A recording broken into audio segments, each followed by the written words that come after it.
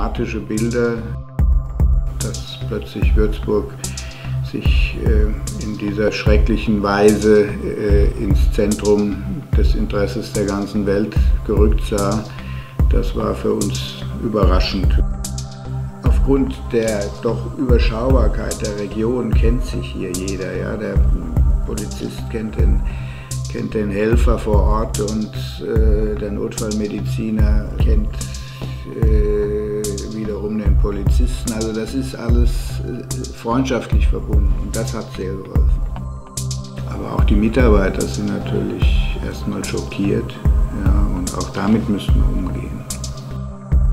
Was dann schon eine Herausforderung war, war der Umgang mit der internationalen Presse. Es gab natürlich wie immer äh, welche, die das Gefühl hatten, es wird ihnen was vorenthalten und versuchen dann an die Patienten auch direkt ranzukommen.